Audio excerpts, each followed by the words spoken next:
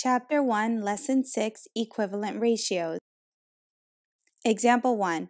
Determine if each pair of rates is equivalent. Explain your reasoning. So, first we have 24 miles in 6 hours. We can write this as a fraction 24 miles in 6 hours. Let's find the unit rate of this. To find the unit rate, we divide by the denominator. This gives us 4 miles in 1 hour. Then we have 40 miles in 8 hours.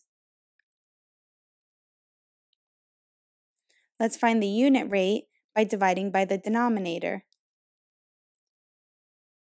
This gives us 5 miles in 1 hour.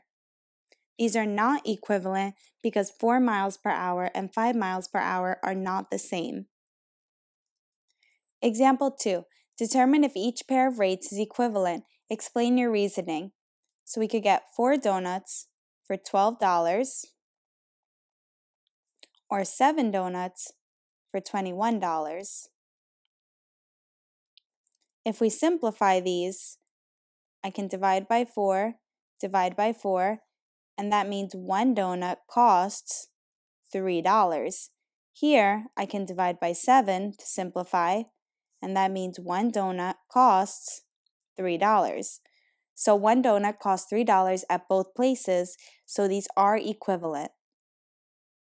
Try these yourself to check for understanding.